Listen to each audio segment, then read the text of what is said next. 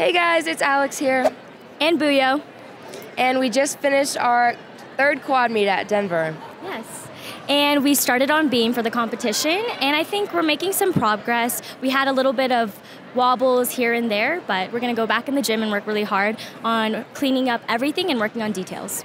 Special shout out to Miss Malabuyo here, who absolutely crushed it on beam. Stuck, series stuck, the confidence, her poise.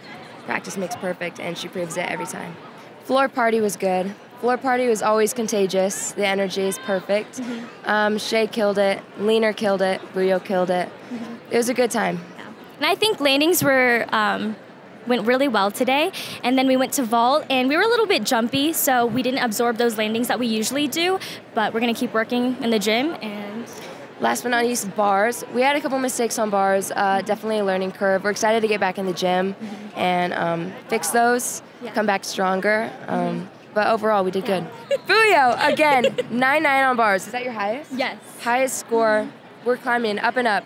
Buyo's on the rise. Watch out for her. And Alex competed her first bar routine, and she absolutely killed it. You maintained your composure, and you competed like a veteran today. So, so proud of you. Amazing day.